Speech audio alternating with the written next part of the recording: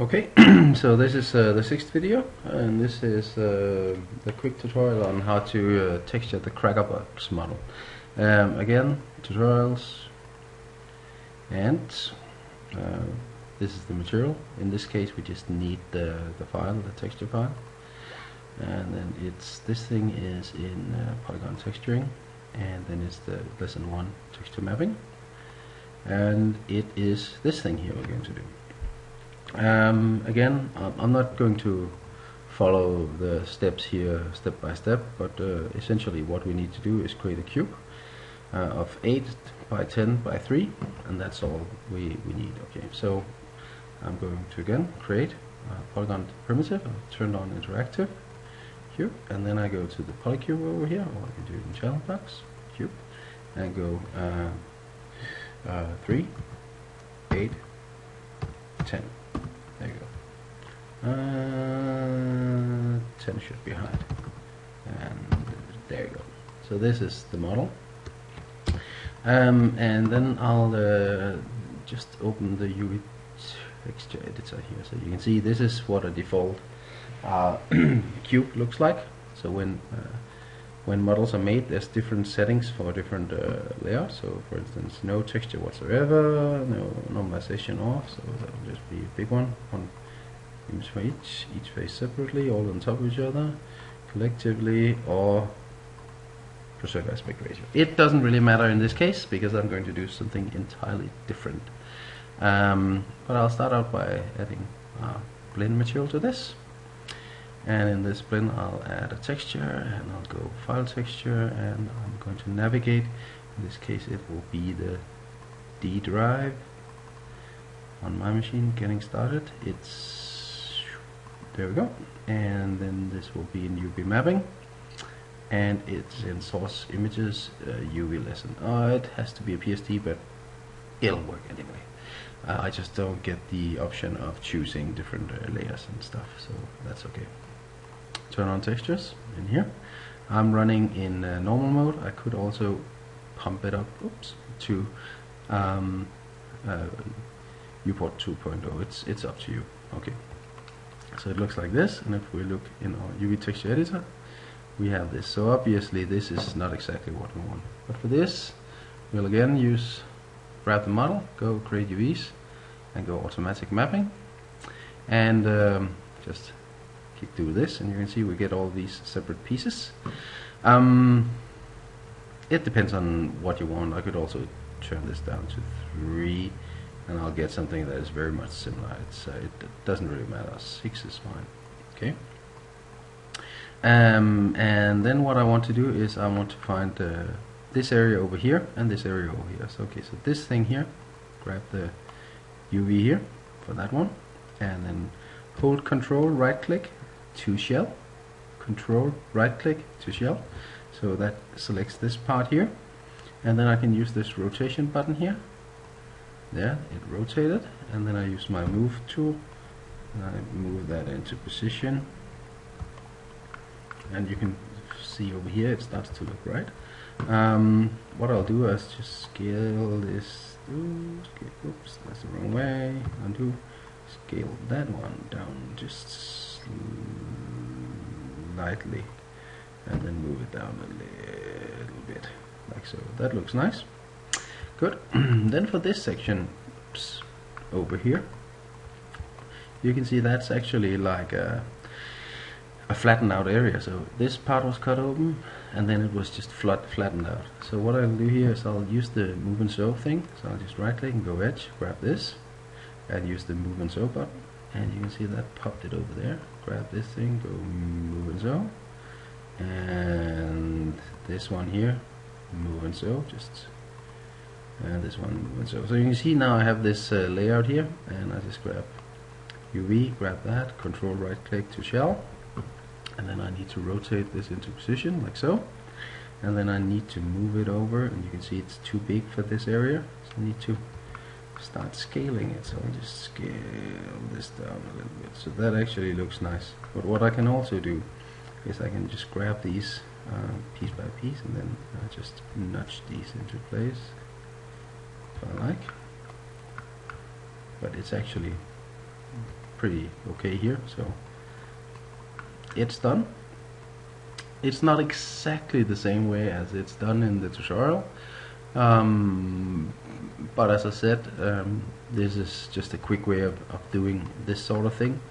Um, I'll just show a, a, quick example of something else. So if I grab something like a polygon torus there we go just move it over here. So we can have a look. And I'll just assign the the same material here. Or maybe just an image.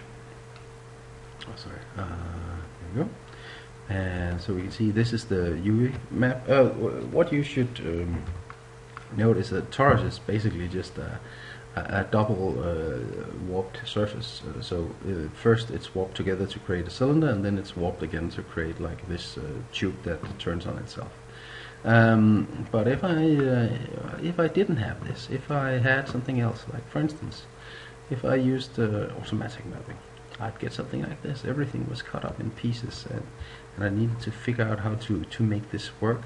Or maybe uh, even more interesting, I may have a I may have a, a, planar mapping from a certain direction. So you can see this comes in from a strange area. Uh, I want this to be I'll just try this again, just go planar mapping. In this case I go to option box and say it should be from the y-axis, so down from the top. There we go. So now I have this thing going through, and if I just add a material to this, uh, just material attributes, and then I add a texture, and this time the texture will be from my desktop, and I have one down here, the same as we used before. Blop, blop, blop, blop. Where did I put it? Uh, it's it's there okay. Okay so you can see this is what it looks like. Um, and uh, what I'll do is I'll cut it up so I'll just go edge grab this and then I'll use the cut button. So now it's separate. So I'll just go UV grab one UV there and control right click to shell and then I'll move that apart. Oh yeah. I need to cut it up in the inside as well. So I just grab that and cut it and then go UV, grab that, control right click to shell, and then move that about. Okay, so I have both here. So one thing you'll notice that one is blue and one is red. So the red one is actually uh, inverted because it was projected from the top and down to the bottom. So I want to grab this and then I want to flip it. So now it's the right way around. Another thing you'll see is that um, hopefully you'll see is that the texture warps quite a bit here at the edge because it was projected linearly so what I'll do is I'll relax that. So I'll grab UV, grab this. So for this thing, which is the bottom, I use this thing called relax. I grab relax options, set this to world space, and when I relax this, it'll look at the um, the spacing and then use that. So there you go, and you can see it spaces it much more nicely, and the result is that my UVs looks nice. Um, this will pin the border and everything so that'll work. The other option I have is to grab this thing over here and then use the unfold option. So I'll go to tool unfold and then I'll unfold this. And you can see I get something very similar. Uh, not quite the same but very similar. So I can unfold this as well. Okay. so this creates very nice uh, evenly spaced textures even in the area where it doesn't look uh, the same okay in another video I talked about the difference in, in, in detail. So if I grab UVs for this part here, which is the bottom part, and I'll then uh, scale this down. And I'll move it over to where we have some detail in it, which like so. So you can see, although this is, uh, is it, it's, it's quite usable and at this distance it probably looks okay the problem is that this is visually much coarser than this up here. So it's very important for the, the illusion to be believable is that the area um, in question is uh, has a relatively uh, equal um, quality. So I'll just go to layout here and then I'll set it to world non-overlapping and it should prescale. So there we go so you can see now what it does it, it figures out the, the, the world size of this oops that was my cracker box uh, and it uh, if I just grab one of these uh, so for instance uh, there we go just grab this grab to shell and then just rotate it until I get something of visual complexity. There we go. So what you can see here, what you can see here is that although as we come very close, this of course doesn't look uh, perfect, but the visual complexity of this is the same. So it's it doesn't irritate the eye uh, to the same level. Uh, the line here, of course, does, but but the the quality is. Uh, if everything is at the same level, it's okay. Uh, whereas if something is really good and something is not so good, that will sort of break the illusion of, of everything, of where it works and how it works. So um, yeah, that was uh, just a quick uh, version of the Crackerbox.